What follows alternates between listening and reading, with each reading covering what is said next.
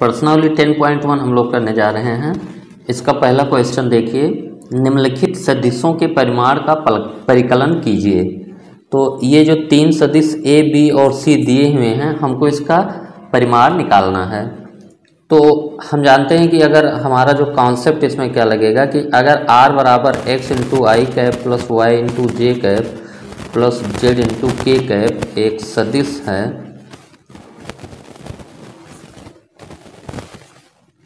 तो तो इसका परिमाण, इसको हम लोग सदिश आर का मॉड से प्रदर्शित करते हैं और ये क्या होता है?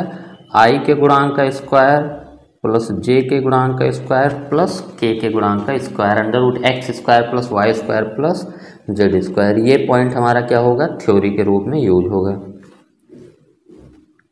तो अब जो सदिश दिए हैं, इनका परिमाण हम लोग निकालते हैं। ए बराबर हमारा है आई प्लस जे प्लस के तो हमारा जो यहाँ से आई का जो परिमाण होगा सॉरी वेक्टर ए का जो परिमाण होगा, वो आई के गुणांक का स्क्वायर प्लस जे के गुणांक का स्क्वायर प्लस के के गुणांक का स्क्वायर ये हो गया under root three vector B हमारा क्या दिया हुआ है? Two I minus seven J two I minus seven J minus three K तो यहाँ से जो हमारा बी का जो परिमाण होगा आई के गुणांक का स्क्वायर प्लस जे के गुणांक का स्क्वायर प्लस के के गुणांक का स्क्वायर तो बी का जो परिमाण हमारा हो गया अंडर रूट चार प्लस उनचास प्लस नौ. उनचास एक पचास अट्ठावन अंडर रूट बासठ हो गया ये हमारा। जो हमारा सी सदिश दिया हुआ है one upon root three I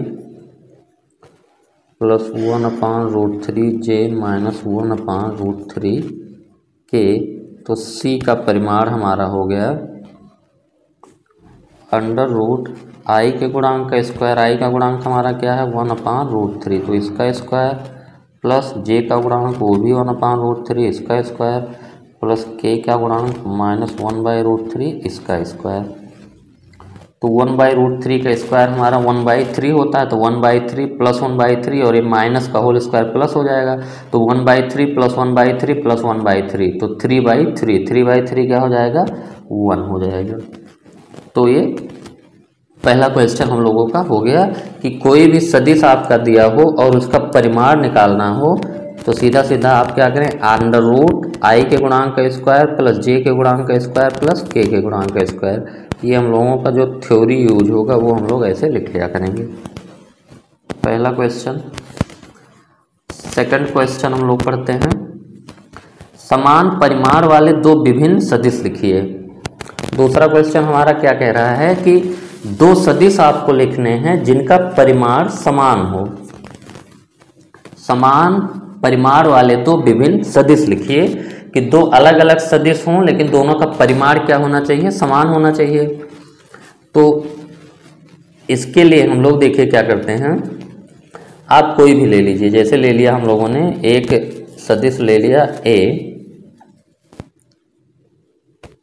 ए बराबर A one I cap plus A two J cap plus A three K cap और हम लोगों ने एक सदिश ले लिया B equal to B one I cap plus B two J cap plus B three K cap अब यहाँ से हमारे ए और बी सदिश अलग हैं और ए का हमारा परिमाण क्या लिखेंगे हम लोग under root A one square plus A two square plus A three square B का परिमाण हमारा क्या होगा? Under root B one square plus B two square plus B three square तो सदिश ए की दिशा में हम लोग एकांक वेक्टर लिख लेंगे। सदिश ए की दिशा में ये हमारा क्या होगा? सदिश ए अपान सदिश ए का परिमाण। तो ये हमारा क्या होगा? सदिश ए की दिशा में एकांक वेक्टर होगा। एक वेक्टर ऐसा हमको मिल जाएगा जिसका परिमाण क्या होगा? वन होगा।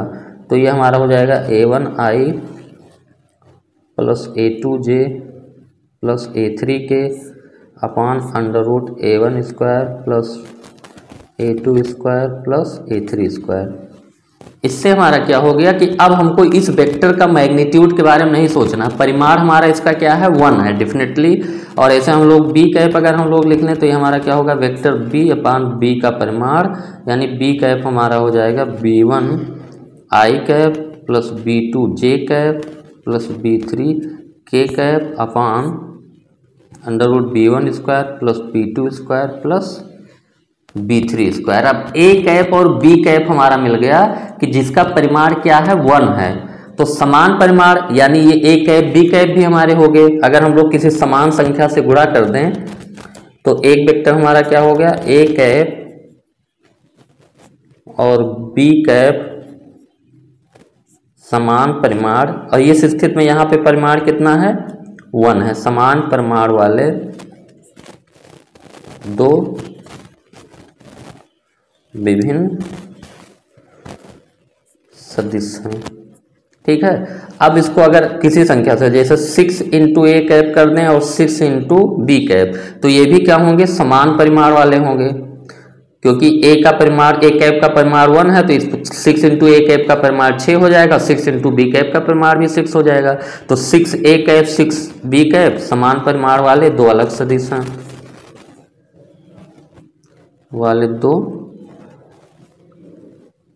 विभिन्न सदिश हैं। इसका मतलब क्या हुआ? इसको कठिन बनाने का हमारा मतलब नहीं है। इसका मतलब ये हुआ कि आप कोई भी दो वेक्टर ए और बी ऐसे रैंडमली लिख लो ठीक है, जैसे ए इक्वल टू आपने लिख लिया टू आई प्लस चलिए इसको थोड़ा और समझा देते हैं कि आप कोई भी दो वेक्टर लिख लो। आप ए इक्वल टू जैसे लिख लिया किसी ने two I plus three J minus four K B equal to I plus J minus K अब हमको दोनों का परिमाण समान बनाना है तो हम लोग क्या करेंगे? पहले यूनिट बना देंगे। तो यूनिट बनाने के लिए हम लोग क्या करेंगे? मॉडलस से डिवाइड करते हैं तो इसका टू का स्क्वायर प्लस थ्री का स्क्वायर प्लस माइनस फोर का स्क्वायर तो ए का परिमाण हमारा क्या हो गया? चार, नौ, चार, तेरह और सोलह, उनतीस। बी का परिमाण क्या हो गया हमारा? अंडर रूट वन का स्क्वायर प्लस वन का स्क्वायर प्लस माइनस वन का स्क्वायर तो ये हो गया रूट थ्री अब हमारा अगर एक कैप वेक्टर लिखें, यानी टू आई फोर के अपान रूट ट्वेंटी नाइन। अब इस वेक्टर के बारे में हमारा डिफिनिट हो गया, इसका परिमाण क्या होगा? वन होगा। इसी हिसाब से अगर हम लोग बी कैप भी लिखें, I plus J minus K by root three तो इसका भी परिमाण क्या होगा? वन होगा। अब आप इसमें किसी भी संख्या से मल्टीप्लाई करते चले जाएँ समान संख्या से तो सारे वेक्टर अलग अलग होंगे, लेकिन परिमाण क्या होगा? सेम होगा। जैसे इसमें हम लोग मान लें फोर से मल्टीप्लाई करते हैं, यानी four by twenty nine into two I plus three J minus four K इसमें भी फोर से ही मल्टीप्लाई करना पड़ेगा four by root three I plus J minus K समान परिमाण वाले, समान परिमाण वाले दो विभिन्न सदिश।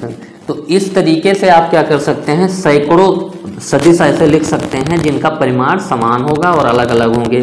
आप कोई भी वेक्टर ए ले लेंगे, कोई भी वेक्टर बी उसकी मदद से आप एक ऐप वेक्टर निकाल लेंगे और एक ऐप वेक्टर हमारा क्या होता है, vector A upon models of vector A अब ए कैप वेक्टर और बी कैप वेक्टर निकालने के बाद हमको ये पता है कि ए कैप का परिमाण वन होगा बी कैप का परिमाण भी वन होगा। अब इसके परिमाण में किसी भी संख्या, समान संख्या से गुणा करते जाए। मान लें छः से इसमें छः से इसमें गुणा कर दिया तो ये जो वेक्टर बना, इसका परिमाण छः इसका भी परिमाण छः तो दो अलग अलग वेक्टर मिल गए, जिनका परिमाण अलग। तो किसी भी संख्या से गुणा करते जाएँ, आपको अलग अलग मिलते चले जाएँगे, जिनका परिमाण समान होगा। तो ये हमारे बताने का मतलब है कि आप बहुत सारे सदिश निकाल सकते हैं। इसीलिए हमने ए वन बी वन करके बताया। तीसरा सवाल है हमारा कि समान दिशा वाले दो विभिन्न सदिश लिखिए। ये तीसरा क्वेश्चन हमारा है। दिशा क्या होनी चाहिए? समान होनी चाहिए। समान दिशा वाले। अच्छा हम लोग जानते हैं कि जो सदिश ए होता है और लेमडा इंटू ए सदिश या तो इसके दिशा में होता है या इसकी दिशा में विपरीत होता है लेमडा इन टू ए ठीक है? अगर लेमडा विपरीत दिशा में कब होता है? जब लेमडा ऋणात्मक होता है। जब लेमडा ऋणात्मक होता है तो लेमडा इंटू ए वेक्टर की दिशा ए के विपरीत हो जाती है और उसी दिशा में कब रहता है? जब लेमडा धनात्मक होता है। तो समान दिशा वाले दो विभिन्न सदिश लिखिए। तो आप कोई भी एक सदिश ले ले, माना ए ए बराबर हम लोग ऐसे भी, कोई कोई भी सदिश four I plus two J minus three K इसकी जो भी दिशा होगी, ठीक है? इसकी समान, अगर इसको किसी भी धनात्मक संख्या से गुणा किया जाएगा तो उसकी भी दिशा क्या होगी? उसी सदिश ए की दिशा में होगी। तो इसमें हम लोग लिखें कि सदिश ए में सदिश ए में किसी भी किसी भी धनात्मक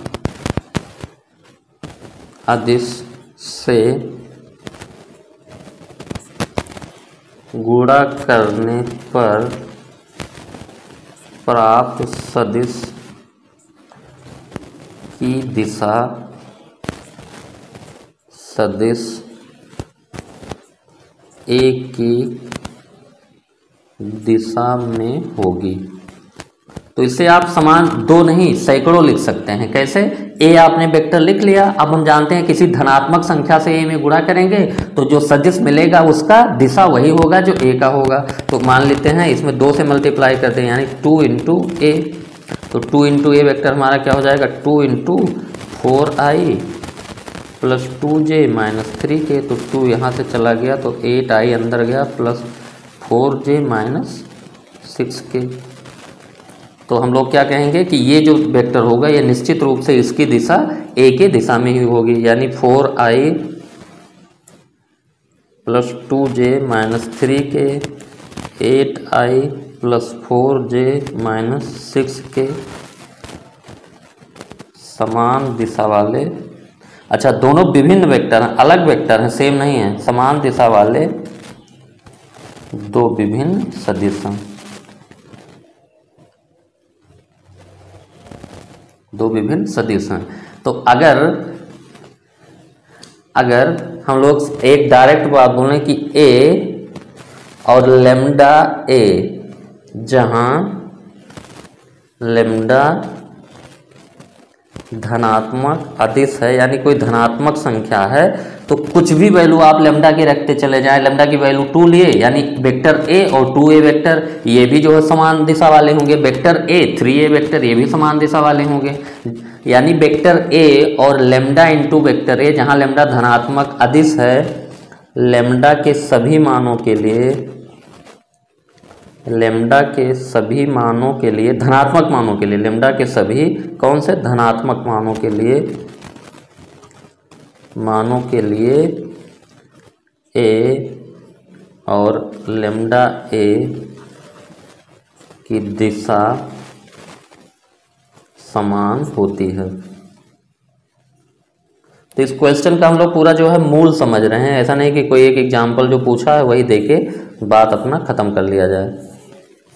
ये हमारा मूल है कि अगर किसी भी वेक्टर में धनात्मक संख्या से गुणा करेंगे आप तो उस वेक्टर का मैग्नीट्यूड ही चेंज होता है, दिशा वही रहती है। तो आप कोई भी वेक्टर लेके उसमें किसी भी धनात्मक संख्या से गुणा करें तो एक ही दिशा वाले दो विभिन्न सदिश आपको मिल जाएँगे। ये क्वेश्चन नंबर थ्री हो गया। क्वेश्चन नंबर फोर हम लोग देखते हैं। एक्स और वाई के मान ज्ञात कीजिए ताकि सदिश ये और ये समान हों। ठीक है? तो एक सदिश हमारा ए बराबर ए वन आई जो थ्योरी यूज़ हो रहा है, वो बता रहे हैं। Plus A two J plus A three K है, और बी बराबर B one I plus B two J plus B three K है। यदि सदिश ए बराबर सदिश बी तो ये कब होता है? जब ए वन बराबर क्या हो? बी वन ए टू बराबर बी टू और ए थ्री बराबर क्या हो? बी थ्री यानी दो सदिश अगर आपके बराबर होते हैं तो तभी बराबर होंगे जब इनका एक्स जो है आई का गुणांक जे का गुणांक और के का गुणांक तीनों के तीनों क्या होने चाहिए? बराबर होने चाहिए। तो ये हमारा क्या है इसमें? थ्योरी यूज़ हो रहा है। कि दो सदिश अगर A one I plus A two J plus A three K और B equal to B one I plus B two J plus B three K बराबर हैं, यदि बराबर बी तो ए वन बराबर बी वन ए टू बराबर बी टू और ए three बराबर बी थ्री होगा। अब हम क्वेश्चन पे आते हैं हम लोग। हमारा क्वेश्चन क्या है कि एक्स और वाई के मान ज्ञात कीजिए ताकि सदिश two I plus three J यानी हमारा दिया है कि two I plus three J बराबर क्या है? X I plus Y J तो ये कभी होगा? कब? जब यहाँ पे आई का गुणांक एक्स है, यहाँ पे क्या है? टू। यहाँ पे जे का गुणांक वाई है, यहाँ पे क्या है? थ्री, यानी एक्स बराबर two Y equal to three एकदम सिंपल सा क्वेश्चन चार नंबर हो गया हम लोगों का। पांचवा क्वेश्चन हम लोग करते हैं। एक सदिश का प्रारंभिक बिंदु टू कामा वन और अंतिम बिंदु माइनस फाइव कामा सेवन है। इस सदिश के अदिश एवं सदिश घटक ज्ञात कीजिए।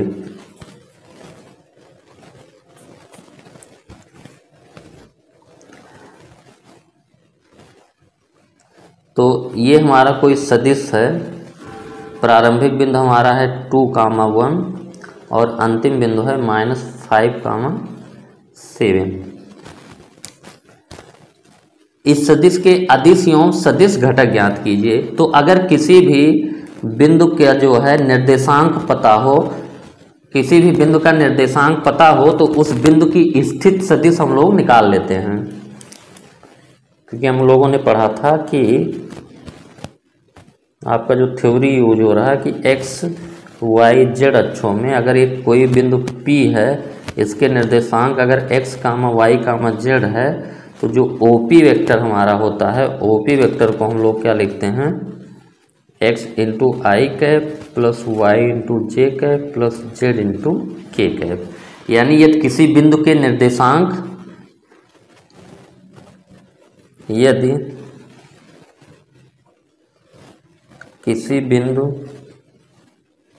P के, यदि किसी बिंदु P के निर्देशांक x comma Y comma Z हों तो तो मूल बिंदु ओ के सापेक्ष पी का स्थित सदिश ओ पी बराबर हमारा क्या होता है? X i cap plus y j cap plus z k cap ये हमारा क्या है? थ्योरी वाला पार्ट है कि अगर किसी भी बिंदु का निर्देशांक पता हो तो उसके हेल्प से हम लोग उस बिंदु का स्थित सदिश निकाल सकते हैं। ठीक है, यदि किसी बिंदु P के निर्देशांक एक्स वाई जेड हो तो मूल बिंदुओं के सापेक्ष P का स्थित सदिश x i plus y j plus z k. यानी अब बिंदु P और Q के निर्देशांक हमको पता है। तो बिंदु P और Q के निर्देशांक पता है तो किसी कहीं पे ओरिजिन के सापेक्ष हम लोग ये OP वैक्टर निकाल सकते हैं और ये ओ क्यू वैक्टर निकाल सकते हैं। तो OP और ओ क्यू वैक्टर पता करने से हमारा क्या हो जाएगा? पी क्यू वैक्टर पता चल जाएगा। और जब कोई वैक्टर पता चल जाता है तो हमारे सदिश घटक तुरंत ही पता चल जाते हैं, क्योंकि आई जे के के जो गुणांक होते हैं, वही हमारे क्या होते हैं? अदिश घटक होते हैं और सदिश घटक हमारा जो होता है पूरा ये ये सदिश सदिश घटक हो गया एक्स अक्ष के अनुदिश एक्स आई वाई अक्ष के अनुदिश वाई जे और जेड अक्ष के अनुदिश। तो यहाँ पे एक लाइन हम लोग और लिख लें। यहाँ पे एक लाइन हम लोग ये लिख लें कि ओपी का ओपी यानी कोई वेक्टर का ओपी का सदिश घटक क्रमशः x i cap y j cap z k cap और अदिश घटक x comma y comma z होता है। यानी अगर कोई वेक्टर आपका पता हो तो एक्स इंटू आई कैप वाला पार्ट जो होता है वो और वाई इंटू जे कैप और जेड इंटू के कैप वाला एक क्रमशः एक्स वाई जेड अच्छों के अनुदिश हमारा सदिश घटक होता है।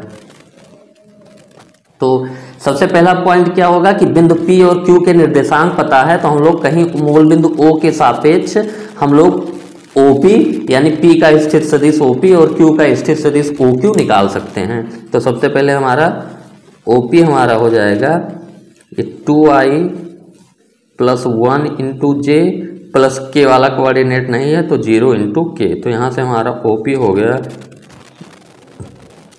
टू आई प्लस जे बिंदु क्यू का स्थिर सदिश ओ क्यू हमारा हो गया minus five into i plus seven into j plus zero into k क्योंकि के वाला कोऑर्डिनेट जेड वाला कोऑर्डिनेट ज़ीरो है। तो हो गया minus five i plus seven j अब हमारा क्या हो गया? ओ पी और ओ क्यू पता चल गया तो इससे हमारा पी क्यू वैक्टर निकल जाएगा।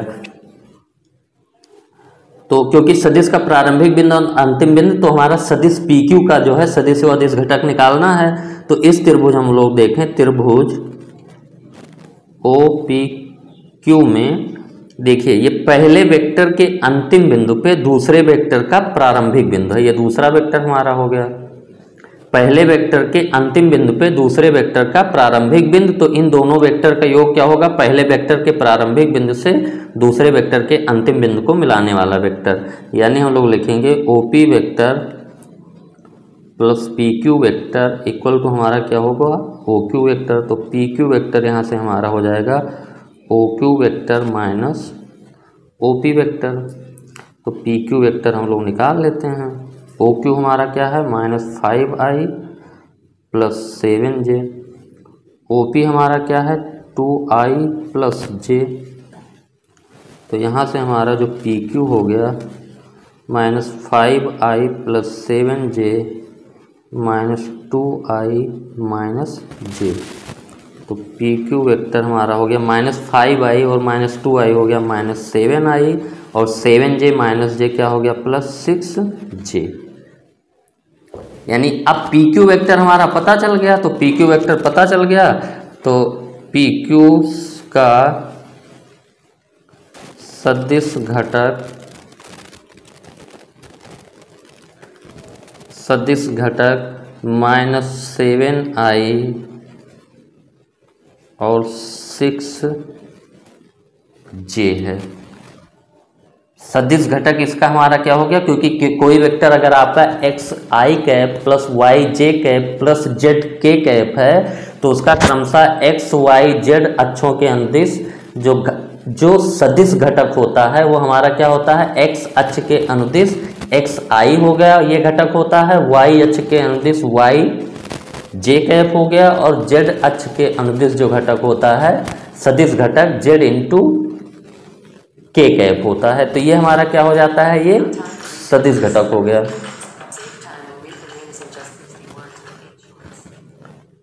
और अभी हम लोगों को और क्या चाहिए? अदिश घटक। तो अदिश घटक में हम लोग क्या करते हैं? आई जे के जो है, हटाने के बाद जो बचता है, वो यानी एक्स वाई जेड हमारे क्या होते हैं? अदिश घटक होते हैं। एक्स वाई जेड अदिश घटक और x i cap y j cap और जेड के कैप हमारे क्या होते हैं? सदिश घटक। तो दूसरा पॉइंट हम लोग भी लिख लेते हैं पी क्यू का अदिश घटक। ये हमारा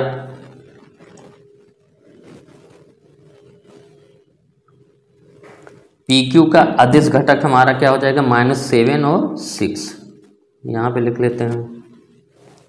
पी क्यू का अदिश घटक